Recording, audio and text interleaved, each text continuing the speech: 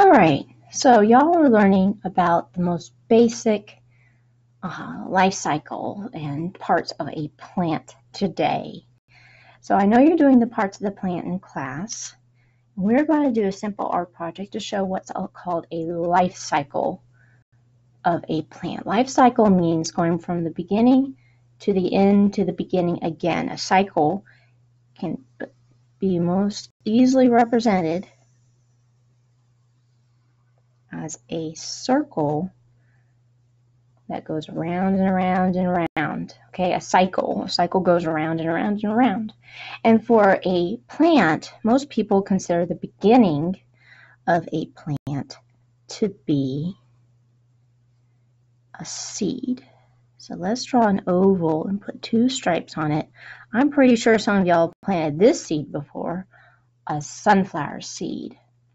All right, so a sunflower seed, if you plant in the ground, it will germinate or sprout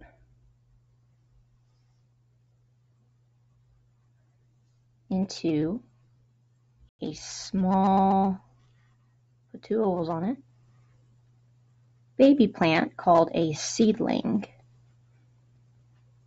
So it will go and it will become, let's draw an arrow from the seed to the seedling. It will grow into a seedling. And then eventually, let's draw another line for soil.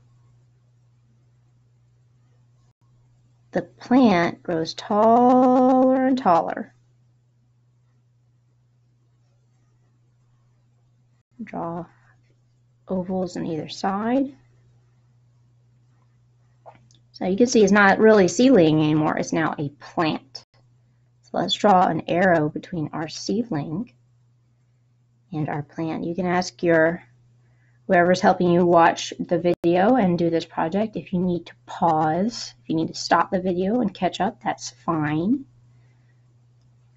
Now we're going to draw a really, really tall plant because now the plant has matured.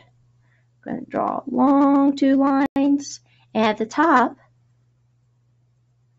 we're going to draw a big circle because now our, our plant is mature enough, just like the pumpkins, they're big enough now to support a flower. Y'all have been watching that video with the pumpkins.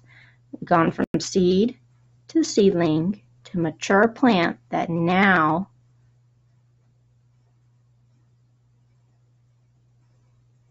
has a bunch of petals around a flower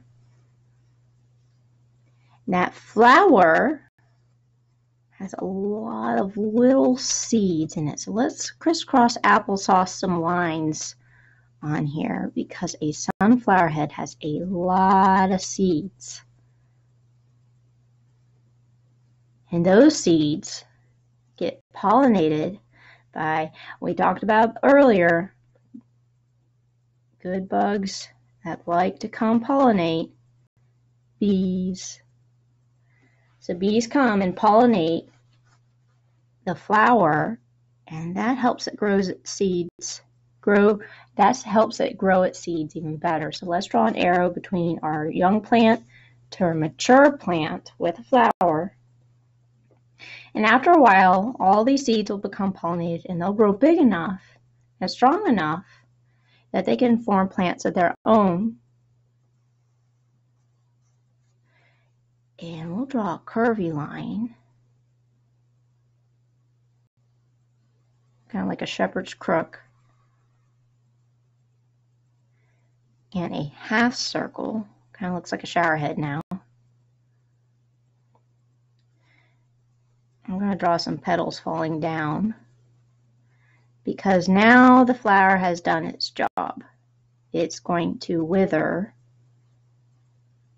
but not only are petals falling off of it, but also lots and lots of sunflower seeds are going to fall to the ground from the plant. And we are going to go back